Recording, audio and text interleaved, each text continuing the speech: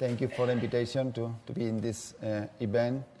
Uh, my group has been focusing the last 15 years in, in the, in the identification of endogenous factors, mainly neuropeptides and hormones that are involved in the regulation of the immune system, for to propose treatment in inflammation and autoimmunity. So uh, I think that we can find some opportunities with this neuropeptide, and it's something that we are going to discuss at the, at the end.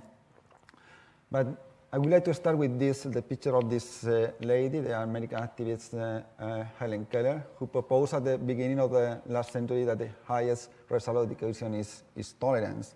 It's obvious that to maintain the actual structure of society, we had to uh, apply this concept.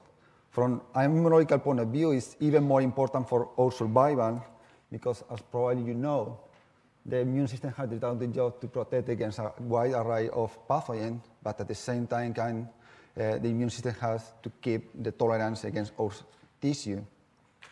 And it, this is not easy because the immune system is perfectly designed to localize and neutralize and eliminate uh, antigens, pathogens, etc.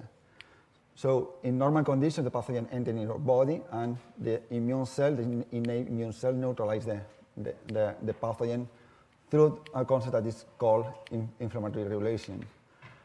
Uh, in most of the conditions, uh, the pathogen is also taken by antigen-presenting cell to mount one T-cell response, adaptive uh, response against the pathogen, and create memory for a second infection. So that's fine with the production with antibody, etc. So, but in some conditions, some part of the pathogen looks or part of uh, antigens. This is the self-antigen. In that case, the, the immune system don't distinguish between the pathogen and our cells. In other conditions, after chronic inflammation, new antigens appear after the tissue destruction. And this is the concept of new self-antigens. So uh, the problem is that the immune system is going to recognize equally the pathogen and the self-antigen.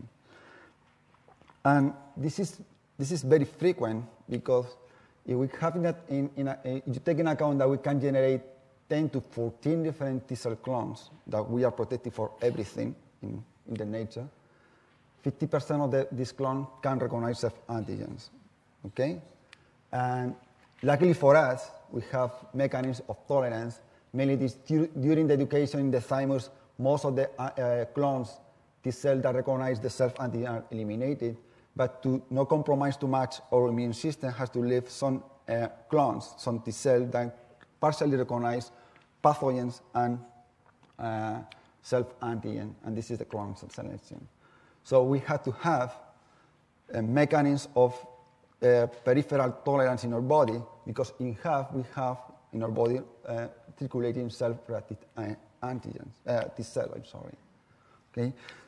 Here are some of the mechanisms that our uh, immune system used to control the self-reactive T cells. Probably one of the, of the most important uh, mechanism is the induction of Treg that this morning has uh, everybody talking about these cells. So what happens when we lose the tolerance against uh, all uh, antigens? The consequence is the autoimmunity. Okay, probably is the evolutionary price to be covered uh, against a lot of, of uh, pathogens. But this is the case of multiple sclerosis, but this is similar for most of the autoimmune disease. The scenario is different, but the actors are the same. Again, the pathogen taken by antigen-presenting cell, the presentation to this uh, antigen to T cell, the proliferation of mainly this kind of cell, autoreactive cell, producing TGP1 and TGP17 cytokines, activation of uh, uh, B cells and production of autoantibodies that all of them can enter in the target tissue. In this case, it's the, the uh, central nervous system and a self-attack against uh, uh, our tissues.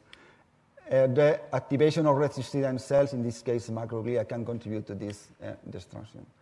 So luckily for us, we have cells, this is a Treg, that are patrolling our body and act as blue helms or uh, police that control this activation and differentiation of uh, uh, uh, autoreactive T cells.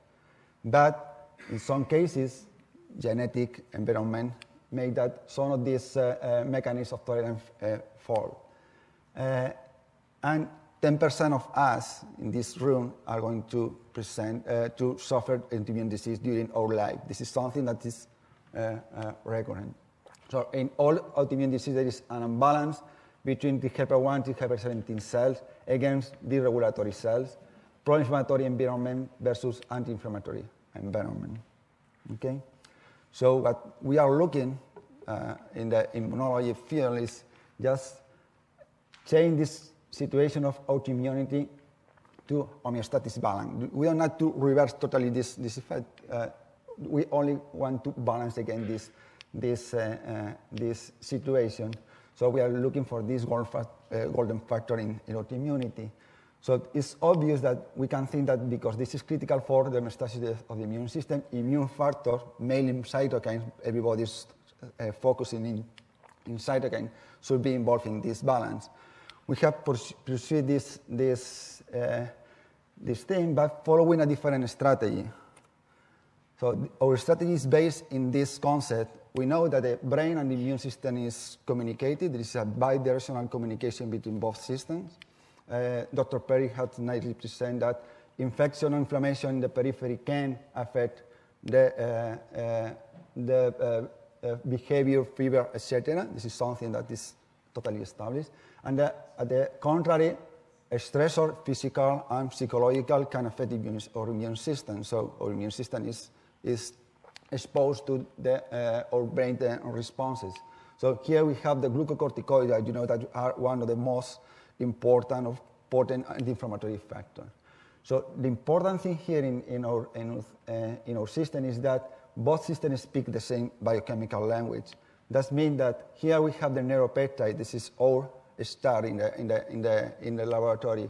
The, this neuropeptide are peptide produced by the neurons.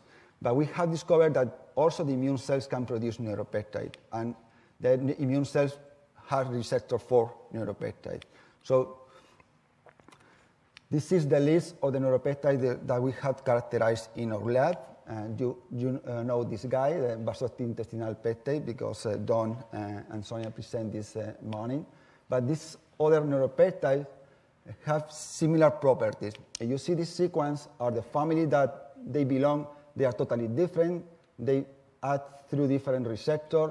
The major roles in the body uh, are uh, more or less different, but they look different, but from an immunological point of view, they have common characteristics that are attractive for autoimmunity. They're produced by the immune cells in response to inflammation and autoimmunity. Uh, the immune cells express a specific receptor, and probably the most important thing is that all these receptors are coupled to CMP and PK signaling, that is a traditional pathway that is related with anti-inflammation and immunosuppression. In fact, I would like to call this neuropeptide as because it's neuropeptide acting like, uh, like uh, uh, cytokines. So, uh, trying to summarize a lot of work, independently of the, of the source of this neuropeptide, blood uh, coming from the blood or the exogenous administration nerve or from the you know, lymphoid uh, uh, cell, uh, the presence of these neuropeptides, uh, are going to do two major functions in the immune system. is going, they are going to deactivate microglia and macrophages to produce a wide array of inflammatory mediators, chemokines, toxic factors like glucocorticoid, PG2, etc. At the same time, can induce anti-inflammatory factors like IL-10, inhibit the clonal expansion, expansion of autoreactive T, uh, T cell through different mechanisms. At the same way, uh, this neuropeptide can inhibit the antigen presentation to T cells, inhibiting mainly the differentiation of T helper 1 cells that you know that is related with autoimmunity and uh, inflammation. And uh, partially can favor the, the T helper 2, but not in all the cases.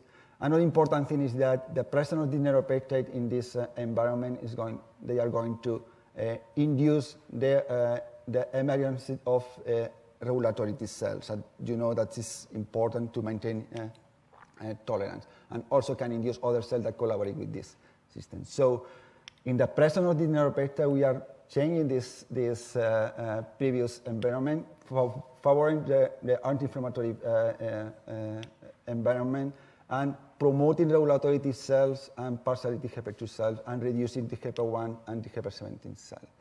So with, with this scenario, you can imagine that everybody has tried to, to use this neuropeptide in different uh, uh, autoimmune and inflammatory disease. Uh, we have used previously in animal model, that is the clinical, uh, preclinical uh, uh, strategy that we use. This is the list of the animal model that this neuropeptide, mainly the BAP, has been proved that is effective. We have sepsis, inflammatory bowel disease, rheumatoid pancreatitis, etc., etc. Also, uh, neuroinflammatory diseases, Parkinson's disease, Alzheimer after trauma, etc. You have here some example of, of this. I would like to mention only three or four examples just to have an idea of, of the uh, potency of this neuropeptide. So this is one model of uh, brain trauma that is caused by uh, uh, inducing trauma in one area of the, of the brain. This is the, in this corner is the, where we insert the pipette to, uh, to make the lesion of the, of the, of the, in the brain. And you can see here that there is a huge uh, neurodegeneration, as Dr. Perry explained, due to inflammation. You can see here that there is a huge activation of microglia with production of an uh, inflammatory mediator or recruitment of, uh, of immune cell to this site. The injection of VIP after the trauma, you can see that here, that we can prevent the neurodegeneration. This is because VIP can inhibit the activation of uh, microglia and recruitment of, of inflammatory cells to the site of injury. If we move to a, a model that is more autoimmunity and infl inflammatory with an inflammatory component like uh, this uh, model of Crohn's disease, that is induced after the injection, injection of this uh, compound, TMBS. You can see here that after injection in mouse, you see one decrease in the body weight. This is caused because there is a severe colitis in, this, in these uh, animals. Uh, uh, a majority of them die by this colitis because there is perforation of, uh, of the intestine, uh, etc. You can see here there is a huge inflammation necrosis in the, in the colon of, this, of these mice. The injection of neuropeptide, in that case, we have, I have put an example of ghrelin, but it's similar for the rest of the neuropeptide. Prevent this body weight loss, prevent the mortality, and this is because prevent the inflammation in the, in the, in the gut and the destruction of the mucosa. Okay. Okay, the, probably one of the most important things is that we can inject the, the, the neuropeptide once the disease is established with a chronic uh, disease. We can reestablish uh, the uh, the disease after uh, the disease is established. And another important thing is that if you inject the neuropeptide just in the beginning and not later, this, uh, uh, this initial injection of the neuropeptide resists or tolerate a second injection of TMBS. You can see here that the controls animals without treatment, all the animals die by the colitis after the second administration of the TMBS. However, the animals that were initially treated with neuropeptide resist this second injection of TMBS. And from a therapeutic point of view, this is important because we can treat uh, patients that with established disease, and a single administration in the beginning could resist a second uh, uh, peak of the disease. If we move to another model, this is a model of rheumatoid arthritis induced by collagen uh, 2, you can see here that all the animals that are untreated suffer different uh, uh, clinical scores of disease that is characterized by the typical inflammation in the joints in both paws and destruction of inflammation in the, in the, in the joint, destruction of the bone, totally disappearance of the cartilage, etc. The injection of, BIP, of in, this, in that case, BIP at that point, a single administration of five days, you can see here that we can inhibit the progression of disease. The pose are totally different to, to this. And at histological levels, there is a preservation of, of, the, of, the, of the joint. Okay? Finally, if we move to a more neurological uh, uh, disease, but with a potent uh, component of autoimmune disease. The uh, multiple sclerosis, this is the preclinical uh, model that we use, uh, we typically use, the experimental autoimmune encephalomyelitis. Again, in mice that are susceptible, uh, we inject one autoantigen and we can generate different peaks of, uh, of paralysis. So this is from zero to six, there are different grade score for paralysis from uh, uh, paraplegia, uh, tetraplegia, etc. this paralysis is because there is a complete demyelinization of, of the spinal cord. This area is totally uh, absent of blue. That is myelin. uh, there is a loss in oligodendrocyte that are the cells that are uh, forming the, uh, the nerves, uh, axonal damage, and this is because there is a huge infiltration of uh, T cells and macrophages in this, in this area. The injection of VIP in the beginning or in one of, at the maximum peak of the disease during five days, you can see here that we can prevent the relapsing of the disease. And this is because we can prevent the immunization, improve the number of uh, oligodendrocytes uh, avoid the axonal damage. And this is mainly because we can inhibit the infiltration of inflammatory cells in the, in the brain parenchyma. Okay, this is a video that just to show this, but uh, for technical problem we cannot show. But the concept is that these mice that are treated in this point is like to be in this situation. After the treatment with cortistatin, you can see that the mice can work perfectly. Okay. Uh, the mechanisms are very simple, and we proposed previously in vitro. One component is the inflammation, and you can see here that in mice that have the disease, uh, they have a, a, panel of inflammatory mediators in the spinal cord. This is typical of, of, of this disease. Chemokines that recruit mod cells.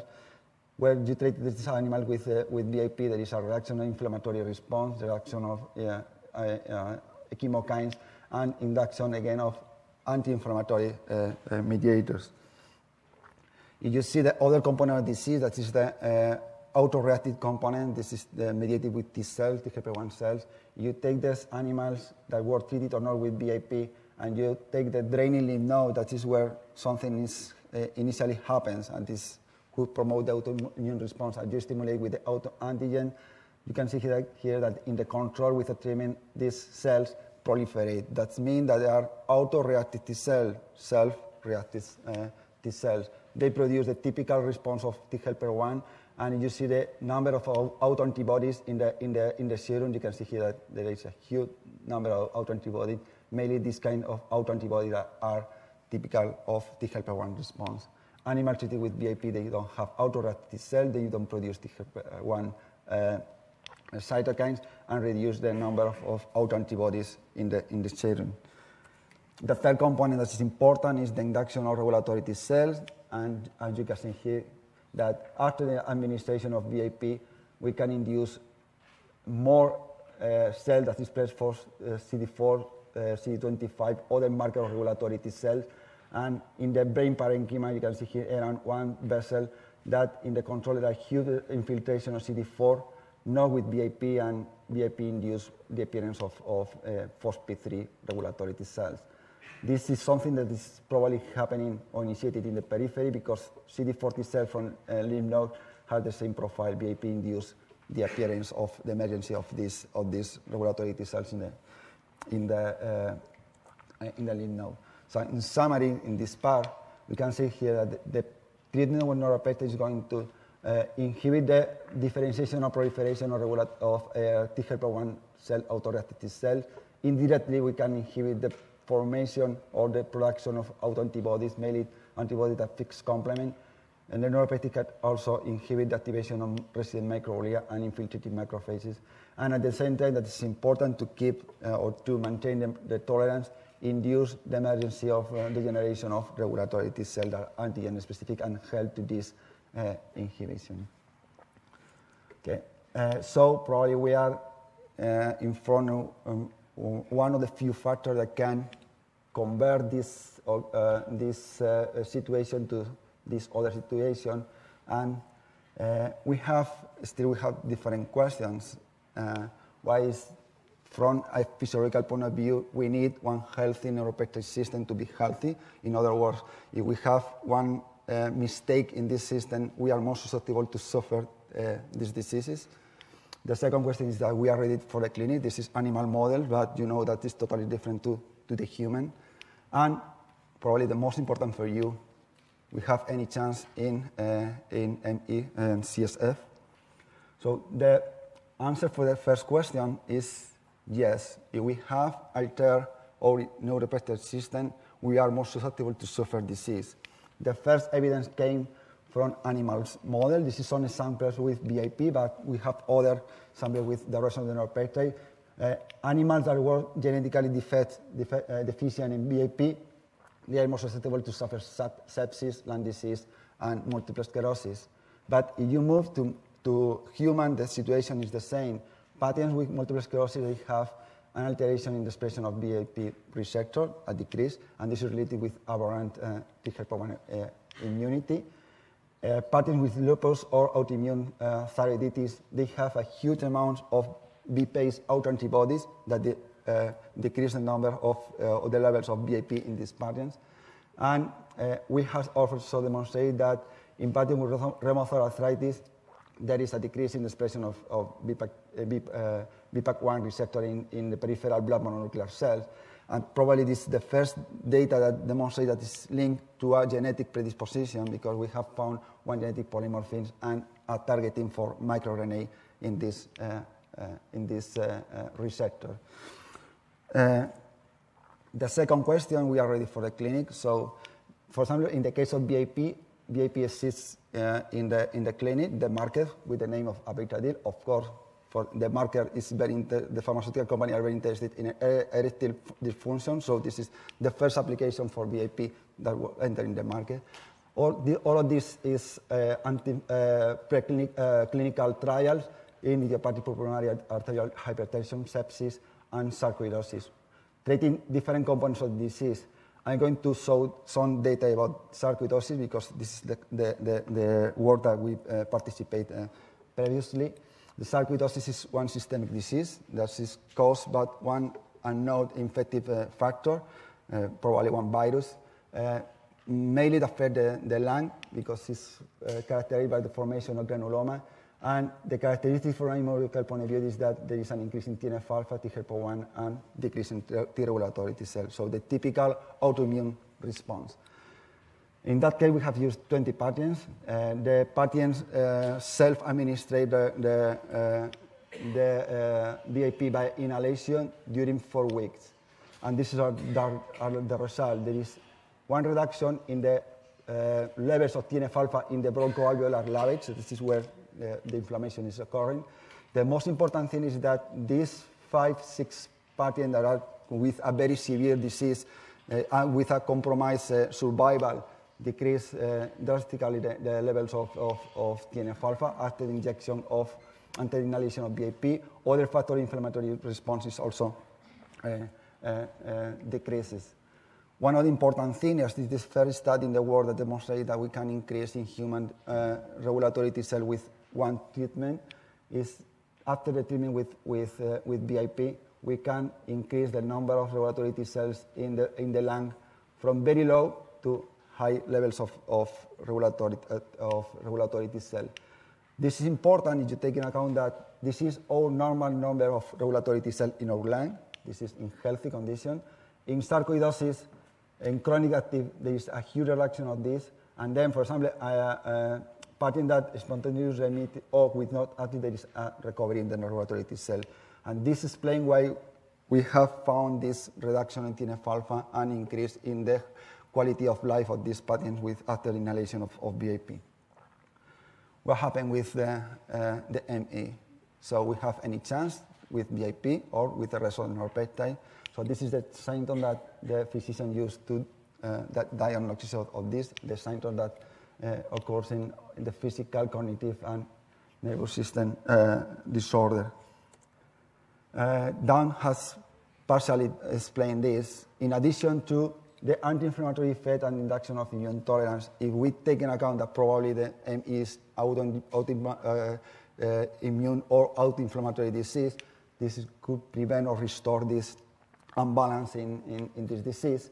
Uh, there are other uh, uh, function of this neuropeptide that can contribute to ameliorate this, these symptoms. Uh, uh, Don Stein has commented all of them. Probably the only thing that he has not commented is the antimicrobial activity that uh, this neuropeptide has uh, been demonstrated that can physically interact with bacteria, not still with uh, uh virus, but bacteria and parasite, and kill directly these, these pathogens. Another important thing that related with the previous uh, previous uh, told is analgesia. At least with cortistatin, uh, we have found that attenuated hyperalgesia and allodynia in inflammatory, or the most important thing is in neuropathic conditions. Okay. Just let me show you two examples of how we can enter in the, in the uh, ME uh, disease with this neuropeptide with BAP.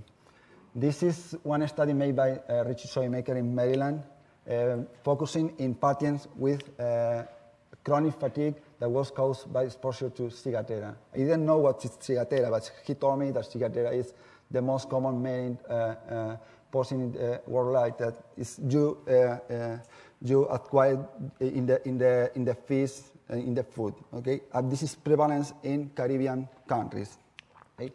The important thing and the curious is that you see the symptoms that these guys uh, uh, describe in, in the, to Richie's, they are very similar to uh, ME-CSF. Almost all of them, they have fatigue, and this is the number of patients that describe the rest of the symptoms in comparison with controls. There is a huge difference between these, but you are very familiar with this uh, symptom. They look ME. They try to compare different biomarkers, what is wrong in, this, in these patients, and they measure different things. The curious thing is that they found that two neuropeptide, BAP, and the melanocyte stimulating factor, uh, that is also anti-inflammatory, they are hugely uh, uh, reduced in this pattern in comparison with controls. In addition, other factors like TGF-beta, complement, etc., they are increased. So there is uh, a difference uh, very clear. So in fact, they compare case with uh, controls, and they found that, for example, for BAP, 96% of the, of the patients they have the deficiency of BAP, the controls, none of them, and uh, also for some with MSH. The, on the contrary, the increase in the other inflammatory factors are also related with the disease. So it's for, probably the first evidence that one deficiency in BAP is related with one fatigue-related uh, disease. Following the same uh, strategy, uh, they have chosen another uh, group of patients that suffer uh, chronic inflammatory response syndrome acquired following exposure to water damaged buildings. Again, the symptoms are the same, and you compare here the number of symptoms. You can see here that the control, they describe around, around three uh, symptoms of media in comparison with the, these uh, patients with this syndrome that describe at least more than 20 symptoms different in this, in this uh, disease. Again, BAP and uh, MSH uh, are decreasing in this pattern. 98% of the, of the, of the pattern describe one deficiency in BAP.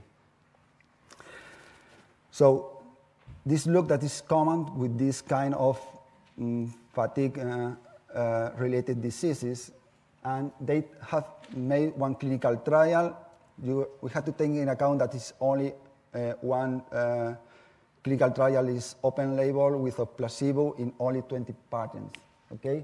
Uh, again, they choose the inhalation of BAP because you can do it yourself uh, during uh, 18 months, four times, uh, uh, 50 micrograms of, of, BAP every time. So this is the different uh, score that they have measured. This is the symptoms. Again, the control around three in the baseline before the BAP treatment, around 30 different symptoms per uh, patient. After the treatment with, with BAP, reduction of five or at the 12 months, close to the control. The, they recover partially the, the, number, the levels of BAP and uh, MSH and restore the rest of the inflammatory mediators. In summary, they send me this, uh, this uh, uh, uh, paragraph, uh, the trial showing that BAP treated safely, that is important, reduce the symptoms of equal to, to control, remarkable symptoms, improvement and correction of chronic fatigue, shortness of breath and asthma-like condition, executive cognitive deficit, neurologic symptoms, and chronic joint pain. Correct all inflammatory and hormonal parameters that they, they measure, normalize the pulmonary artery systolic pressure during exercise, normalized number of regulatory cells, and probably the most important thing, all the patients increase the, high, the quality of life in this, in this uh, uh, trial. So just to take uh, this message at home, if it is true that the higher result of indication is tolerance, non-classical immune factor like neuropeptides definitely contribute to educate our immune system to be more tolerant. And just thanks the people that have collaborated with, with this, the real VIP people, uh, my group in, in, in Granada, all, all the collaborators, and of course the, pe- the people that put the money that, to do this kind of experiment. Thank you. Thank you very much.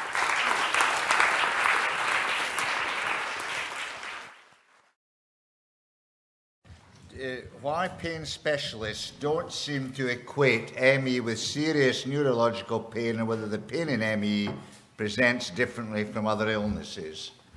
Is the first part of that true in your opinion? Well, I'm not a, I'm not a doctor, I'm a scientist. Um, uh, and, but, I, but I know a lot of, of pain specialists. I mean, my, my impression is those kinds of pain specialists that are genuinely interested in pain would not discount it and not uh, react in this way. And perhaps what you need to do is to ask your GP to be referred to a really good pain clinic, so as opposed to just um, a neurologist. Um, and there are very good pain clinics in specific places in the UK. And if you go to the uh, website of the British Pain Society, which is an organisation which is um, entirely devoted to the treatment of pain, there you will uh, see where the main uh, pain clinics in the UK are. So I think it's just a question of finding right. specialists. I don't want to hog this with pain, but we could maybe get one other question in before you cross question. Yes, is it about pain? Is it about pain? I'd rather have one about pain because I have a whole series of questions. Uh, I've got three questions. Uh, uh, uh, uh how am I going to choose? The shut man or the middleman? Okay, I like middlemen. Yeah. Go on. Uh, there's a type of pain prevalent in ME/CFS which Maria didn't cover if I try and give an example. Yeah, can you tell, tell to If I tense my, my, shout, shout my arm and shoulder like this, like I'm going to strike you, which I have no intention of doing, then after a minute or so, I will have pain because of all this tension. Yes. But I can relax it. Now, people with ME, for example, my wife, all, all these muscles in my shoulder and arm are overlapping. My wife and other people can get a pain in just one of those muscles, a very sharp pain. And it, you can't relax. And I can feel that particular muscle, and it's hard. So is your point that the pain is different?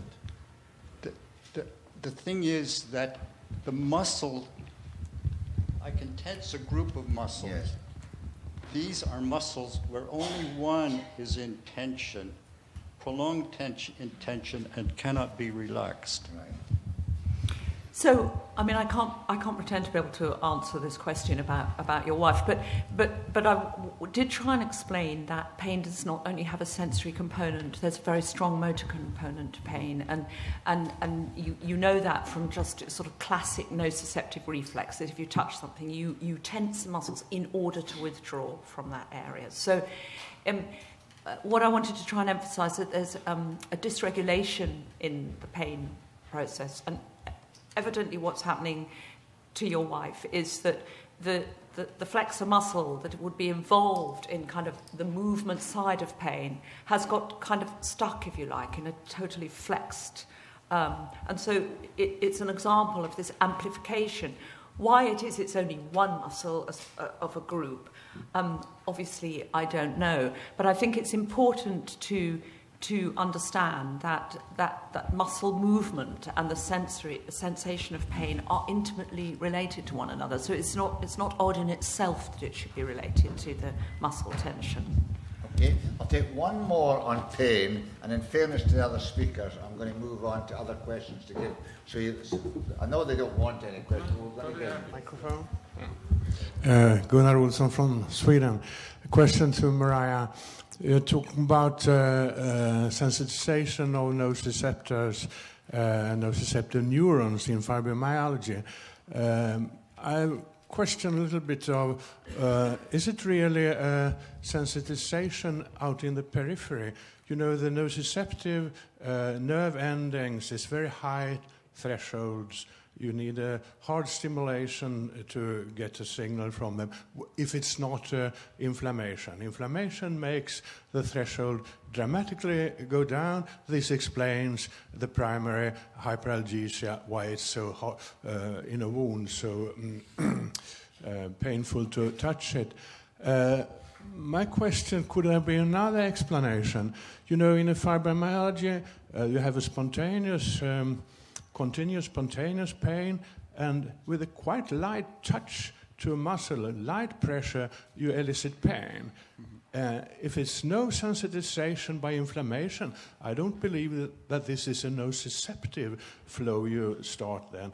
It must be other sensory modalities that perhaps in the spinal cord get into the secondary nociceptive neurons, then giving pain, with a mechanism very similar to uh, secondary hyperalgesia that is uh, uh, transmitted in touch fibers. If, it's, uh, if this would be possible, then the pain actually uh, from the muscle is not a nociceptive inflow. Could it be like that? Yes, absolutely. And uh, I'm, I'm sorry if I gave the impression that it had to be sensitization of nociceptors.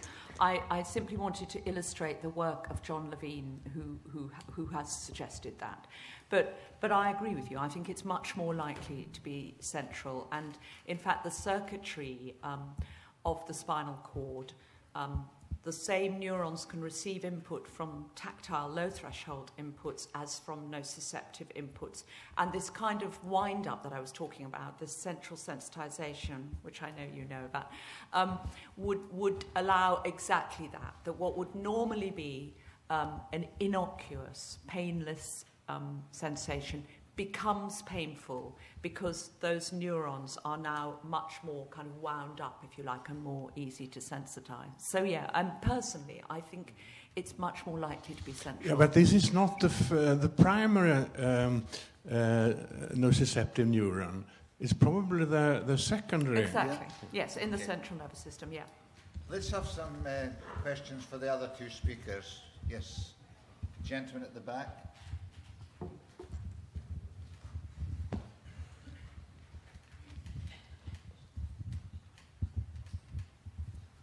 Thank you. Um, it's a question for you, Perry. It's many of uh, ME/CSF patients I come across clinically have uh, usually a body core temperature which is um, about one degree less lower than normal uh, human being. Does uh, you, Perry, believe this to be a causal effect with chronic fatigue, or any information would be welcome?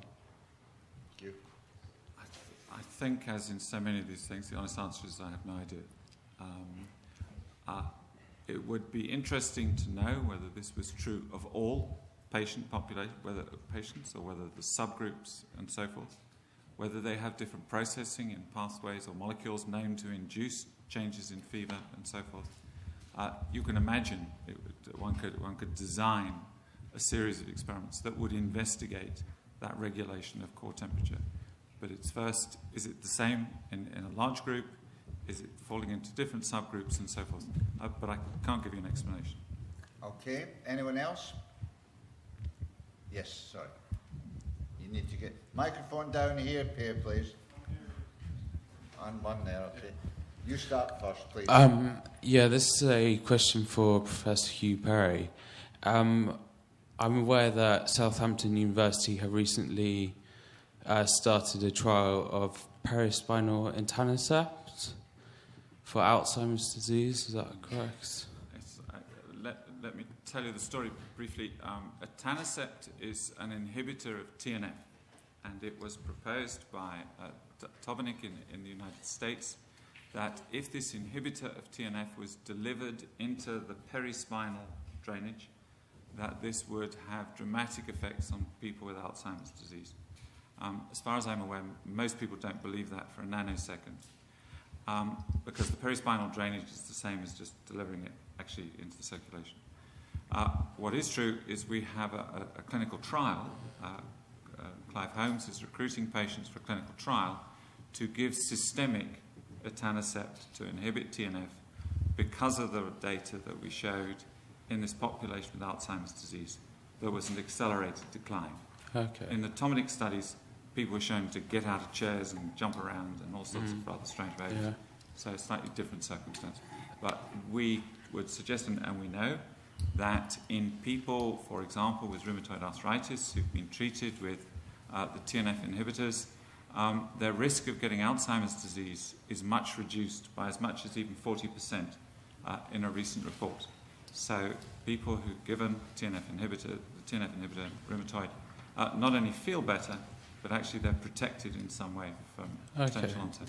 And just one other thing, do you um, see a role for um, NFKB inhibitors in neurological disease because that can impact the you know expression of pro-inflammatory cytokines such as TNF alpha and IL six, etc.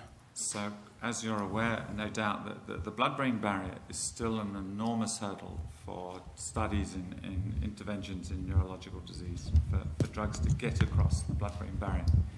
And the trouble with, with things the, that you want to attack uh, NF-kappa B, it also has to be intracellular.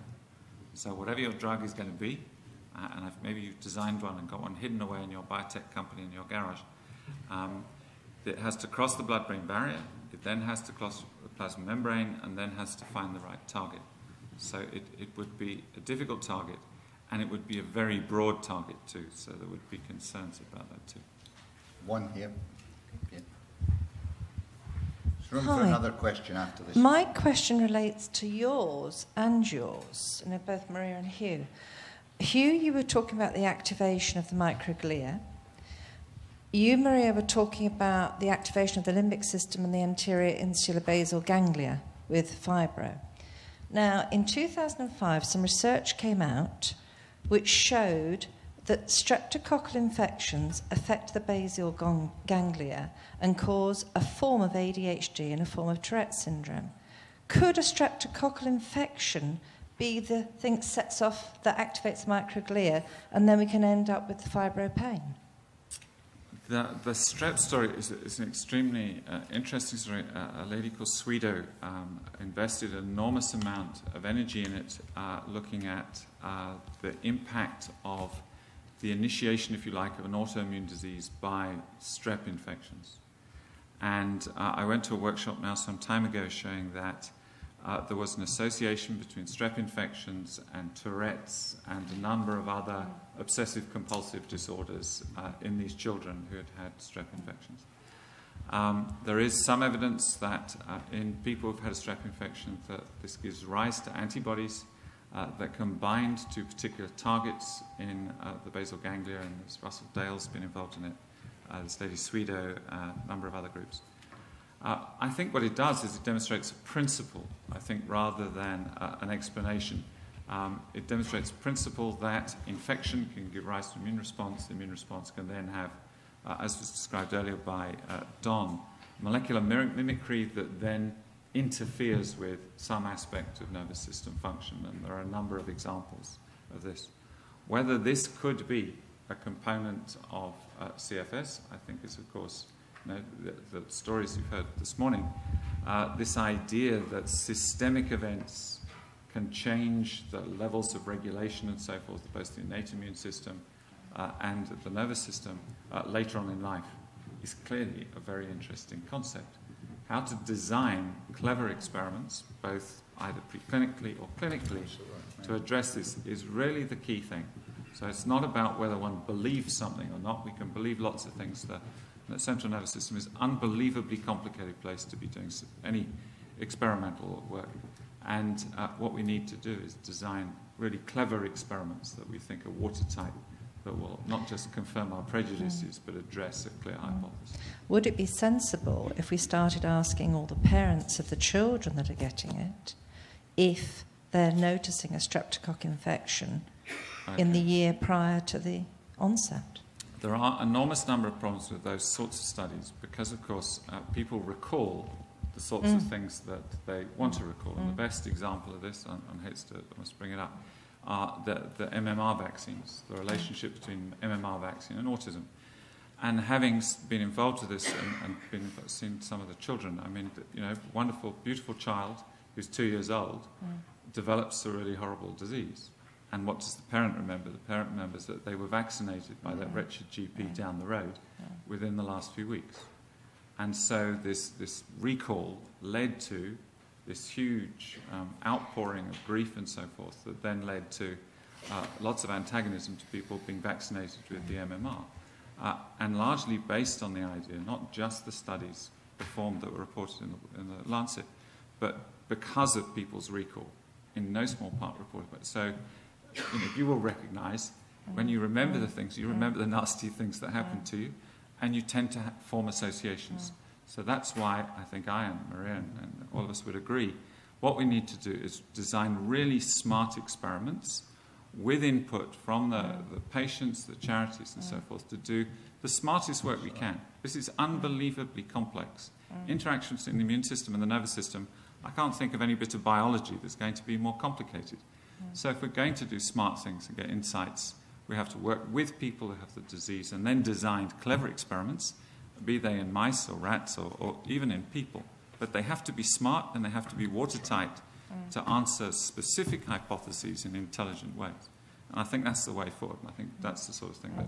That is rather a, a, good point to break off, actually, because I think that's the message of these absorbing talks this morning, which titillate us and make us think about other things that need to be done. And a lot's been done, but every experiment always generates three others in your head that need to be done. And, mm-hmm. and we're trying to get you to, to appreciate this and get involved in it, as Hugh says. Everybody has to feel a part of it, or it's nothing. It must be everybody or nothing in science, I think, and understanding it and getting it done. There needs to be a good debate.